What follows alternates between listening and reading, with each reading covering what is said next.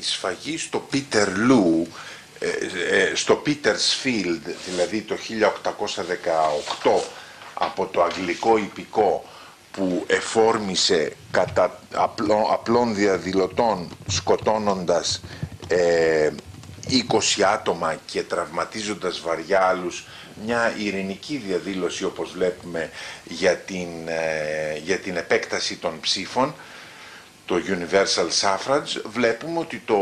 αγγλικό υπηκό ορμάει και σκοτώνει περίπου 20 ανθρώπους χωρίς κανένα λόγο και η λαϊκή ηρωνική αναλογία προς το Βατερλό που είχε γίνει πριν από, 15 χρόνια, πριν από 3-4 χρόνια το ονόμασε τη σφαγή του Petersfield, τη σφαγή του Peterloo κατά το Waterloo. Ε, επομένως βλέπουμε ότι ο μηδενισμός ενυπάρχει μέσα στις άρχουσες τάξεις γενικότερα και δεν χρειάζεται να ε, καταφύγουμε σε άλλες αναλύσεις για να το τεκμηριώσουμε. Η εικόνα του Σιμεών Σαβίδη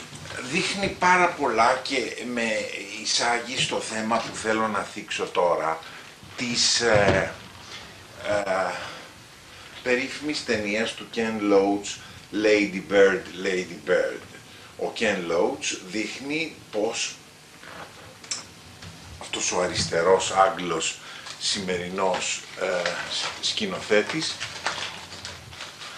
δείχνει ε, το δράμα των μανάδων στη σημερινή Αγγλία και γενικά στο δυτικό κόσμο όπου η μητρότητα αποδοπατιέται άγρια βέβαια ε, στο, από, τον ίδιο ενστικτικό μηδενισμό που λέγαμε πριν.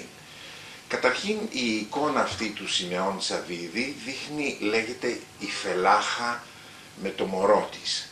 Βλέπουμε πως ένα κοριτσάκι ουσιαστικά, ε, είναι ζήτημα αν θα την κάναμε 12-13 χρονών, κρατάει ένα μωρό το οποίο είναι σχεδόν πιο παχύ από την ίδια δείγμα δηλαδή ότι όλα τα κορίτσια στην Αφρική αλλά και στις παραδοσιακές κοινωνίες πολύ καλά κάνανε και μένανε έγκυες από 10 χρονών και 8 και 9 και 12 κτλ. Και φυσικά 20 χρονών έχουν πολυμελείς οικογένειες. Ε, το έχω υποστηρίξει επανειλημμένα αυτό το πράγμα, αλλά δίνω την εντύπωση του παράφρονα, ενώ φαίνεται λογικό είναι να λες μόνο ότι οι γυναίκες πρέπει να προσπαθούν να μείνουν έγκυες από τα 35 και έπειτα, κάνοντας ε, εξωσωματικές ε, ε, γονιμοποιήσεις, πληρώνοντας περιουσίες ολόκληρες στους μεευτήρες της, ε, του μητέρα και τα λοιπά που έχουν ειδικευτεί σε αυτές τις ε, ε, πολύπλοκες τεχνικές. στο, θυμίζω ότι στο κλασικό στην κλασική ταινία του David Griffith «Μισαλοδοξία» ένα από τα τέσσερα επεισόδια που συνέχεια διασταυρώνονται δημιουργώντας την αίσθηση στο, στο ανυποψία στο κοινό, ιδιαίτερα εκείνης της εποχής, ότι πρέπει να έχουν εμπλεχτεί οι κόπιες, διότι πηδάγανε συνέχεια πηδαγε ο Γκρίφιθ με ένα πρωτοποριακό μοντάζ από το ένα θέμα στο άλλο και βέβαια κανείς δεν έβγαζε νόημα. Ε, μία από τις τέσσερις ιστορίες που αφηγείται παραλλήλως ε, ως ισόμορφη του ηθικού σαδισμού μέσα στην ιστορία, η μία είναι η σφαγή της νύχτας του Αγίου Βαρθολομαίου, η άλλη είναι η προδοσία της Βαβυλώνας από κάποιους, δεν έχει σημασία ποιους, δεν είναι τη στιγμή τώρα να κολλήσουμε. Ε, η τρίτη νομίζω ότι έχει σχέση με το τέτοιο και η τέταρτη είναι η, δεν θυμάμαι την τρίτη, η τέταρτη είναι δώσει, η, το ξερίζωμα ενός μωρού από την μητέρα του και η ανάθεση του σώνει και καλά ε, στις απάνθρωπες κοινωνικές υπηρεσίες μητρομέριμνας, οργανωμένης μητρομέριμνας που ξέρουμε ότι είναι φρικαλέες ας πούμε ακόμα και στις πιο προηγμένες χώρες. Με αυτή την έννοια ξέρουμε ότι στην ε, Σουηδία ο τρόμος όλων των γονέων είναι ότι με το που θα ανεβάσουν τον τόνο της φωνής τους στα παιδιά τους ε, θα έρθει αμέσως, θα καταφτάσει ειδοποιημένη από, την, ε, από τους γείτονες η κοινωνική υπηρεσία η οποία θα τους πάρει σε μισή ώρα το παιδί και δεν θα το ξαναδούνε.